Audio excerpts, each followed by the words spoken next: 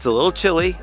Probably shouldn't be doing this today. We love our kayaks. Sometimes they pose a little bit of a problem because we store them inside they go up over the bunk and over the motorcycle and stuff. Sheila made a comment, what about paddle boards? Out of nowhere, we got lucky and I found some paddle boards. So that's what we're gonna talk about. Up here, we usually have the bunk down.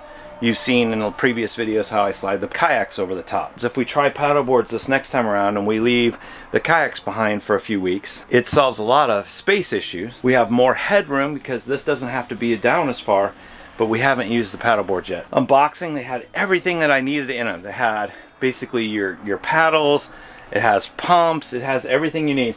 And they come in these awesome carrying cases that are backpacks. So I'm gonna pull these out and we'll talk about them real quick. Then I'm gonna grab Sheila I'm gonna go see if we can paddleboard on cold water without falling in.